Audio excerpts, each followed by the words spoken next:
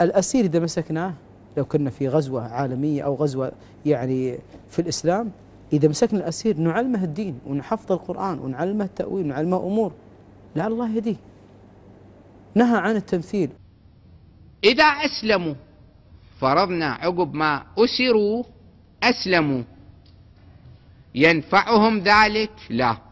لو أسلموا قبل الأسر ينفع.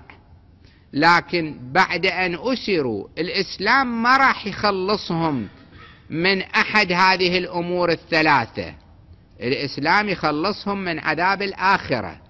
واحد يقول دول مسلمين شلون يبيعوهم ويشتروهم؟ نعم مسلمين. لما أخذوا أساسا ما كانوا مسلمين. بعدين أسلموا وهذا لا يجعلهم أحرارا.